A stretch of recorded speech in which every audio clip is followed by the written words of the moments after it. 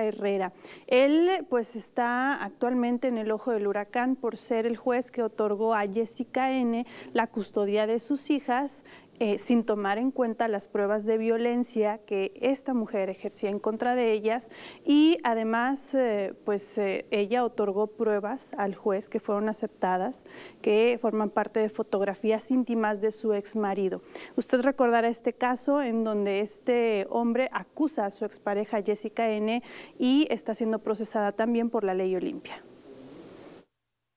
Ya hubo respuesta a la denuncia interpuesta contra el juez tercero familiar Jesús Mata Herrera, quien desde mayo está de licencia de su cargo por cuestiones personales.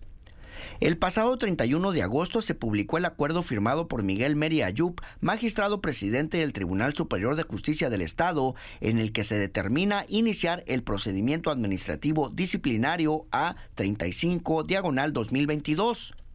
Las denuncias son por irregularidades en el juicio de divorcio de Jessica N. y Diego N., pues según el documento, el 28 de febrero de este año, el juez admitió de manera deliberada que se desahogaran pruebas contrarias a derecho, como las declaraciones testimoniales de la madre y la hermana de Jessica, para acreditar que Diego es homosexual, pues tienen las fotografías en su poder donde aparece desnudo, manifestando habérselas mostrado a su familia testimoniales que se programaron para que se desahogaran el 19 de mayo. Cabe señalar que tal información fue aceptada por una jueza penal como indicios para vincular a proceso a Jessica N por el delito de violación a la intimidad sexual ejercida en contra de su expareja Diego N.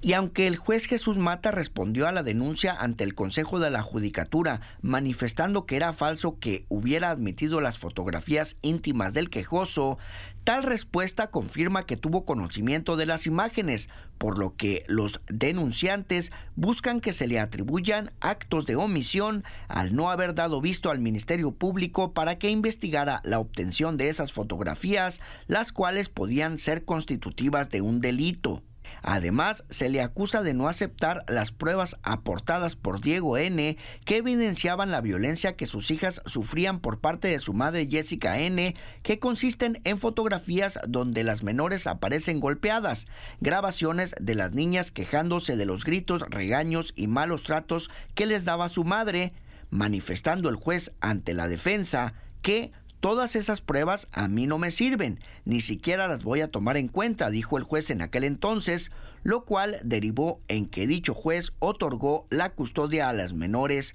a su mamá Jessica. No obstante, el juez que sustituyó a Jesús Mata ya corrigió tal situación al otorgarle provisionalmente la custodia de las niñas a Diego, corroborando la violencia que sufren al lado de su madre, aunque actualmente Jessica está reteniendo ilegalmente a la hija menor. Todos estos elementos serán valorados por el Consejo de la Judicatura para emitir una resolución y en su caso aplicar una sanción que podría ser desde la amonestación hasta la destitución del cargo. Informó para Telezócalo Jesús Castro.